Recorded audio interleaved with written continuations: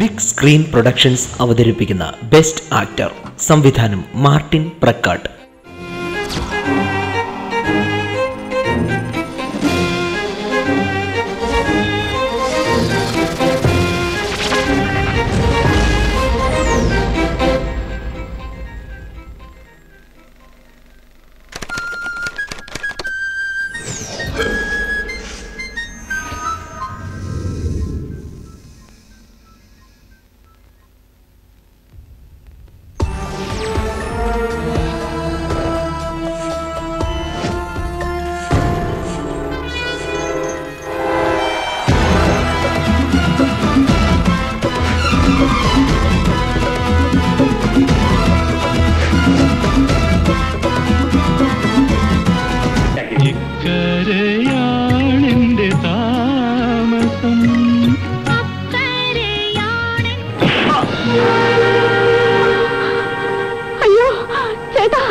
എന്റെ കൂടെ കുറച്ച് സമയം ചിലവഴിക്കുന്നതിൽ വിരോധമുണ്ടോ? Of course no mister Rajan thank you so much ഉല്ലാസപ്പൂത്തിരികൾ കണ്ണിലണിഞ്ഞവൾ. ഉന്മാദത്തെ നനകൾ ചുണ്ടിലണിഞ്ഞവൾ. രാഗം എനിക്ക് വേണ്ടി കാത്തിരുന്ന സുന്ദരിയായ യുവതിയെ പോലെ എനിക്ക് ആ ഇത്രയും കാലം കാത്തിരുന്ന മനോഹര ഭവനമേ നിനക്ക് വന്ദനം. നാട്ടിൽ ഷൂട്ടിംഗ് വന്നപ്പോൾ മോഹൻ മാഷ് ഡയറക്ടറെ ചെന്ന് കാണുന്നു. മാഷിന് വേഷമുണ്ട് എന്ന് എല്ലാവരും മാഷിനെ പറഞ്ഞ് ധരിപ്പിച്ചിരുന്നു. സാർ ഫസ്റ്റ് ഷോട്ട് എങ്ങനെ ഇരിക്കും ആ ട്രെയിൻ സെറ്റ് ചെയ്തോളൂ. ആ. ക്ലാസ് മുറിയിൽ നിന്ന് അധ്യാപികയും വിദ്യാർത്ഥികളും ഇറങ്ങി വരും. ട്രാക്ക് ചെയ്യണം. ഓക്കെ. ആ മരച്ചുവട് വരെ. Okay sir. ആ.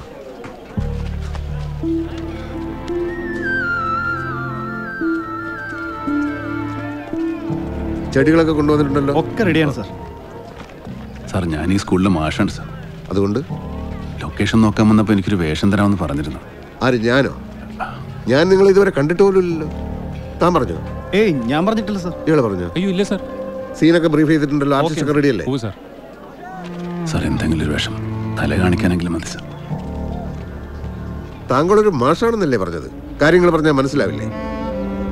ഒരു അധ്യാപികയും അവരുടെ ക്ലാസ്സിലെ കുട്ടികളും മാത്രമുള്ള ഒരു സീനാണ് ഞാനിവിടെ എടുക്കുന്നത്. ഇതിലേത് റോൾ ഞാൻ നിങ്ങൾക്ക് തരും? അധ്യാപികയുടേതോ? അതോ കുട്ടികളുടെയോ സാർ എന്റെ ഭാര്യയും മോനും ഞാൻ അഭിനയിക്കുന്നത് കാണാൻ വന്നിട്ടുണ്ട്. റോൾ കിട്ടില്ല മാനം പോകും സാർ. താങ്കളുടെ മാനം കാക്കാൻ വേണ്ടി ഞാൻ ഇല്ലാത്ത കഥാപാത്രത്തെ ഉണ്ടാക്കണോ? സാർ ഞാൻ ആ ബ്രഹ്മാത്യ ഒന്നും പറഞ്ഞിരുന്നില്ല സാർ? എന്റെ അവസ്ഥ ഒന്ന് മനസ്സിലാക്കണം സാർ. നിങ്ങൾ എന്റെ അവസ്ഥ ഒന്ന് മനസ്സിലാക്കൂ പ്ലീസ്. പ്ലീസ്.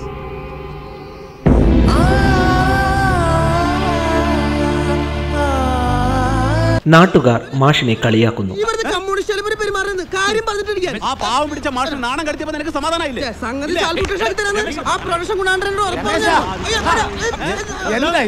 എന്താടോ പ്രശ്നം? നമുക്ക് സമാധാനം ഉണ്ടാക്കാവുന്നേ. അല്ലെങ്കിലേ സിനിമക്കാരെ പുറകെ നടക്കുന്നെന്നും പറഞ്ഞ് ഒരുപാട് കളിയാക്കൽ കേൾക്കുന്ന മോനേട്ടൻ. അതിന്റെ ഇടയിൽ അവന്റെ ഒരു നീ മുട്ട് മോശമല്ലോ കളിയാക്കാൻ. ആഹാ അതാണോ കാര്യം? അല്ല രമേശ നമ്മുടെ മാഷ് പണ്ടൊരു സിനിമ അഭിനയിക്കാൻ പോയില്ല അന്നേ നമ്മുടെ ആ ജയകാന്തനും കൂട്ടനും ചേർന്നെടുത്ത സിനിമയായിരുന്നു അത്. അതിന്റെ ഷൂട്ടിങ്ങിന്റെ ഇടയിൽ ആ പ്രൊഡ്യൂസർ ഏതോ പെണ്ണുകേസ് പെട്ട അകത്തായത്. അങ്ങനെ ആ പടവും മുടങ്ങി. നല്ല ബെസ്റ്റ് രാശി. ദിവാകരോ നമ്മുടെ സൂപ്പർ സ്റ്റാറുകളുടെ ഒക്കെ ആദ്യ പടങ്ങൾ വെളിച്ചം കണ്ടിട്ടില്ലെന്നാ പറയുന്നത്. എപ്പോഴോ നടനാകുമെന്ന് വെച്ച് ഇപ്പോഴേ കളർ ഷർട്ടും കൂളിംഗ് ഗ്ലാസും ഒക്കെ ഫിറ്റ് ചെയ്ത് അണിഞ്ഞൊരിഞ്ഞ് നടക്കല്ലേ? നമ്മുടെ ആളുകൾക്ക് വല്ലതും പറ്റുന്ന പാടിയാണോ ഇത്? സിനിമ. വെറുതെ കാണാമെന്നല്ലാതെ.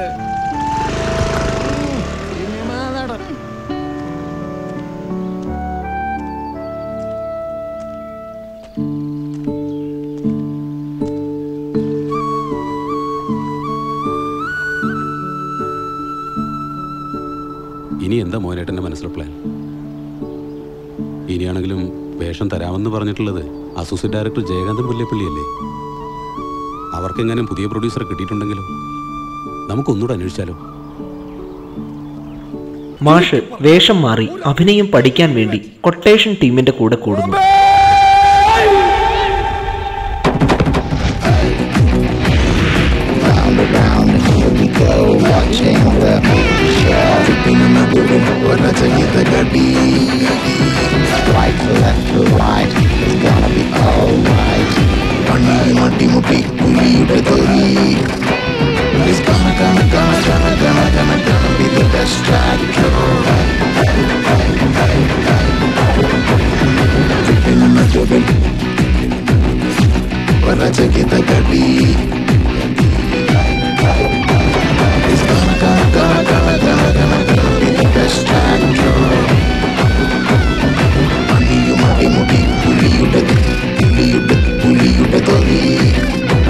അവസാനം ബോംബെയിലെ ജാഥയാണ് മറ്റോടത്ത് മറിച്ചവനാണെന്ന് പറഞ്ഞ് ജാഥ എടുക്കാൻ വന്നാലാണ് ഷാജിനെ തനി കുണം അറിയാൻ പോണത്. ഇല്ലല്ലോ. എങ്കിൽ ഞാനൊരു തീരുമാനം പറയാം. തൽക്കാലം താൻ ഞങ്ങളെ കൂടെ നിൽക്കുന്നു. കിട്ടണതിലൊരു പങ്ക് അങ്ങാട് തരും. ആ അപ്പ കാണുന്നവരെ അച്ചാന്ന് വിളിക്കണ സീൻ കാണിക്കരുത് കേട്ടാ. സീനൊക്കെ ഇനി മാറും. ഇതുവരെ നിങ്ങൾ കണ്ടത് കഥപ്പടം. ഇനി പിക്ചർ അഭി ബി ബാക്കി ഹെ ബായ്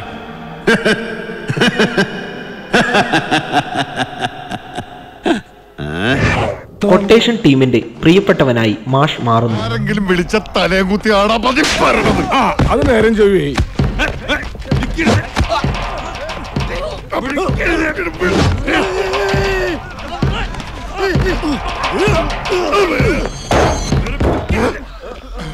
വേണ്ട വേണ്ടട്ടാ വേണ്ട.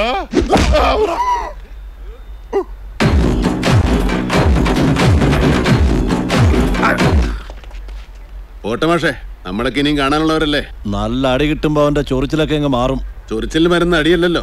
ഓയിൻമെന്റ് അല്ലേ? സ്റ്റണ്ട് മാസ്റ്റർക്ക് മരുന്നിടാൻ വന്നാണോ? നീയും കൊള്ളു അടി.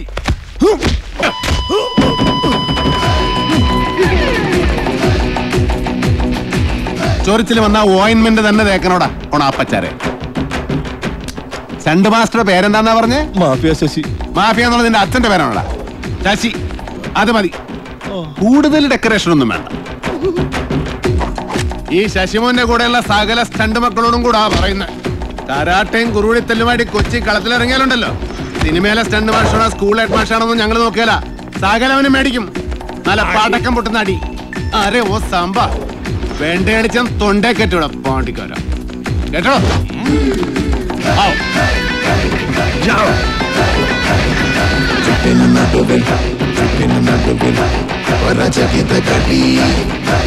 റോഡിൽ കിടന്ന് അടിയുണ്ടാക്കുന്നത് ഭാര്യയും മകനും കാണുന്നു.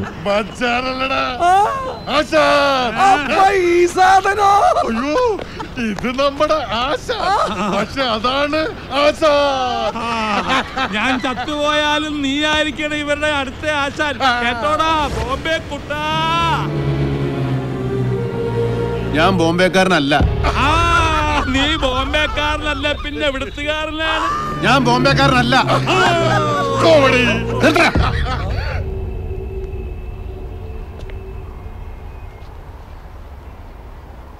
നിങ്ങൾ ഉദ്ദേശിക്കുന്ന ആളല്ല ഞാൻ. ഞാൻ ഗുണ്ടയല്ല. ബോംബെക്കാരനുമല്ല.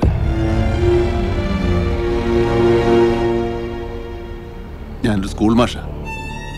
മോഹൻ.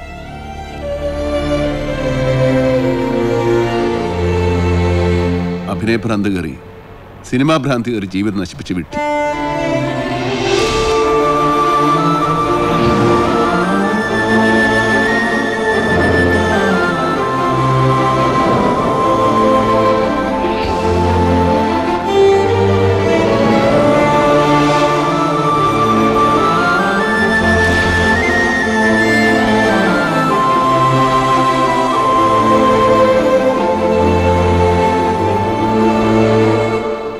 സംവിധായകനെ കാണാതാകുന്നു. മോഹൻ മാഷിനെ പോലീസ് തിരയുന്നു. നീ വലിയ നടനാ. ഞങ്ങൾ തിരക്കിയായിരുന്നു വിവരമൊക്കെ. അഭിനയം നിർത്തിയിട്ട് ഇയാൾ എവിടെ ഉണ്ടെന്ന് പറയടാ. സാർ ഞാൻ എന്റെ ഭാര്യയും മകനെയും കാണാൻ വന്നത് ഇവിടെ. നിങ്ങൾ എന്താ പറയുന്നതെന്ന് എനിക്ക് അറിയില്ല നിനക്കൊന്നും അറിയില്ലല്ലടാ. എന്താ സാർ പ്രശ്നം? സോറി സിസ്റ്റർ സാർ എന്താ കാര്യം? പത്രം കണ്ടില്ലേ സിസ്റ്റർ അത് തന്നെ പ്രശ്നം? വാദ്യർ ആദ്യം നാട്ടിൽ നിന്ന് മുങ്ങി. പിന്നെ അടിപിടി കേസിലായി. സിനിമാ പ്രാന്ത് മൂത്തപ്പോ സംവിധാനം തന്നെ അങ്ങ് പൊക്കി. സാർ സത്യമായിട്ട് നിങ്ങൾ പറയുന്നത് എന്താന്ന് എനിക്ക് മനസ്സിലാവുന്നില്ല. മനസ്സിലാക്കി തരാടാ.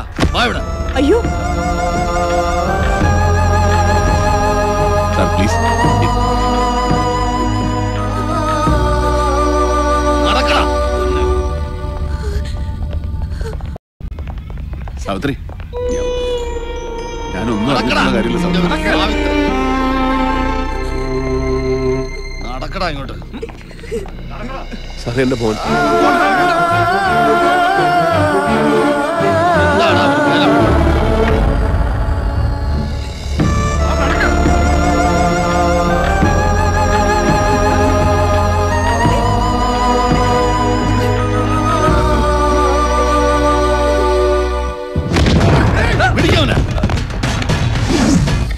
കൊട്ടേഷൻ ടീം വേഷം കൊടുക്കാനായി തട്ടിക്കൊണ്ടുപോയ സംവിധായകനെ രക്ഷിക്കാൻ മാഷെത്തുന്നു എടോ മിനിമം ഒരു മൂട്ടയുടെ അത്രയെങ്കിലും ബുദ്ധി വേണം ഇവിടെ ബുദ്ധി. അഭിനയം പഠിക്കാൻ അവൻ ഗുണ്ടകളുടെ അടുത്തോട്ട് പോയേക്കുന്നു. ഇക്കണക്കിന് ഒരു പിമ്പിന്റെ റോൾ ചെയ്യാൻ താൻ വേശ്യാലയം തുടങ്ങുമല്ലോടോ? അവന്റെ ഒക്കെ അമ്മയെ കെട്ടിക്കാനുള്ള ഭ്രാന്ത് സഹിക്കേണ്ടത് ഞങ്ങളും. ഈ സൂക്കേടിന് പറ്റിയ ഒരു ഒറ്റ മരുന്നേ ഉള്ളൂ. ആടിച്ചവന്റെ ഒക്കെ ഇനി ഒരു അച്ഛനെ വേണ്ടിയ ചവിട്ടി പണ്ടം പൊട്ടിക്കും ഞാൻ. അവനൊരു അടികാരൻ സിനിമയിലല്ല നീ ജീവിതത്തിൽ അടിക്കൊണ്ടിട്ടുണ്ടാ നത്തോലി. നാടൻ കളിക്കുന്നവൻ എന്താടാ കുഴപ്പം? രണ്ടര മണിക്കൂർ തട്ടേ കയറുന്ന ഡയലോഗ് തെറ്റാതെ പറയാൻ പറ്റുള്ളൂ നിനക്കൊക്കെ? കണ്ടിടുന്നയൊക്കെ നിന്നെയൊക്കെ ഒടേ നമ്പുരാൻ ഭൂമിയിലോട്ട് സിനിമാക്കാരനായിട്ടൊക്കെ ഇറക്കിയതല്ലേ? സിനിമാക്കാർക്ക് എന്താണ് രണ്ടെണ്ണം കൂടുതലുണ്ടോ? അതോ നിന്റെയൊക്കെ മറ്റിടത്തുനിന്നാണോ മൂലമറ്റത്ത് കറണ്ട് കൊടുക്കുന്നത്? ആനയുടെ അത്രയും ബുദ്ധി ഉണ്ടെങ്കിൽ അവൻ അഭിനയിപ്പിക്കൂ. എന്നാ അബ്ദുൽ കലാമിനെ വിളിച്ച് അഭിനയിപ്പിക്കടാ ചാൻസ് തെണ്ടിയും തെറികേട്ടും തെണ്ണിച്ചും തന്നെയാണ് എല്ലാവരും സിനിമാക്കാരനായിട്ടുള്ളത് അല്ലാതെ നീയൊക്കെ വീട്ടിൽ ചെന്ന് ഏത് നടനാടാ നടനാക്കിയത്? തിന്ന് എല്ലിന്റെ ഇടക്കറിയപ്പോ നിനക്കൊക്കെ ചാൻസ് വെച്ച് വരുന്നവരോടൊരു പോയി ഞാൻ ഈ ഊത്തവരിലേക്ക് ഞാൻ എന്റെ പൂഞ്ഞാണി വന്ന് ചെയ്തത്?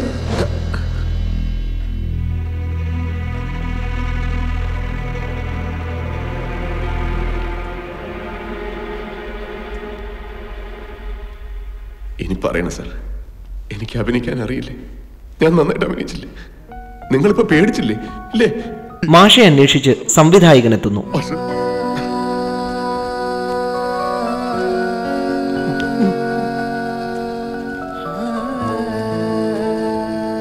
മാഷ് കണ്ട് പഠിച്ചതല്ലേ?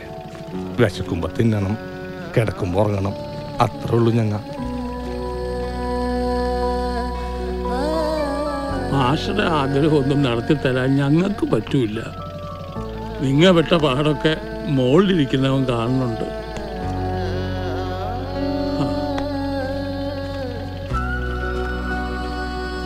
മാഷൂരിക്ക് വലിയ അളവ് അത് ഷുവറാണ് അപ്പൊ ഞങ്ങളെ കണ്ട മറക്കാതിരുന്നാ മതി. കാണുമ്പോ ഒരു സ്ഥലം അത് മതി. പോണേന്ന് പോണേണ് മാഷേ. ചിലപ്പോൾ കഥയും കഥാപാത്രങ്ങളും അന്വേഷിച്ച് ഞങ്ങൾ സിനിമാക്കാർ ദിവസങ്ങളും ദൂരങ്ങളും സഞ്ചരിക്കാറുണ്ട്. മറ്റു ചിലപ്പോൾ കഥാപാത്രങ്ങൾ അപ്രതീക്ഷിതമായി നമ്മുടെ മുമ്പിലേക്കെത്തും. ചാക്കിൽ കെട്ടി ദൂരേക്ക് വലിച്ചെറിഞ്ഞ വളർത്തു പൂച്ചയെ പോലെ. താൻ എന്നെ വീണ്ടും കണ്ടുമുട്ടിയതുപോലെ. സാർ. ആയിരത്തിൽ ഒന്നോ രണ്ടോ പേർക്കാണ് അഭിനയിക്കാനുള്ള കഴിവ് കിട്ടുക. അതിൽ എത്ര പേർ നടന്മാരാകാറുണ്ട്? അവരിൽ ആരൊക്കെ സിനിമയിൽ എത്തിപ്പെടുമെന്നും എത്തുന്നവരിൽ എത്ര പേർ നിലനിൽക്കുമെന്നും ആർക്കാണ് പറയാനാവുക? മോഹൻ നിങ്ങളുടെ ജീവിതം ഒരു സിനിമാ കഥ പോലെയാണ്. അതിന്റെ ക്ലൈമാക്സ് എങ്ങനെയായി തീരുമെന്ന് കാലം തീരുമാനിക്കട്ടെ. മാഷ് അഭിനയിച്ച സിനിമ തിയേറ്ററിൽ ഉത്സവമാകുന്നു.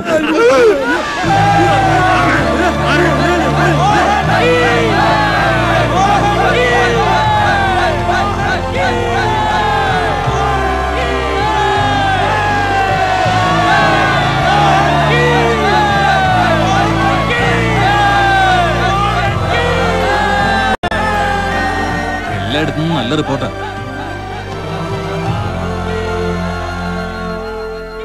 അങ്ങനെ സാറിന്റെ അക്കൗണ്ടിൽ വീണ്ടും ഒരു ഹിറ്റും പുതിയൊരു താരവും. ആരും ആരുടെ അവകാശികളല്ലടോ. കഴിവും പരിശ്രമവുമാണ് ഒരാളെ ആരെങ്കിലും ഒക്കെ ആക്കി തീർക്കുന്നത്. അയാൾക്ക് കഴിവുണ്ടായിരുന്നു നന്നായി പരിശ്രമിക്കുകയും ചെയ്തു. അതുകൊണ്ട് നെഞ്ചുറപ്പോടെ അയാളെ ചൂണ്ടി നമുക്ക് പറയാൻ കഴിയും. അതൊരു നടനാണ്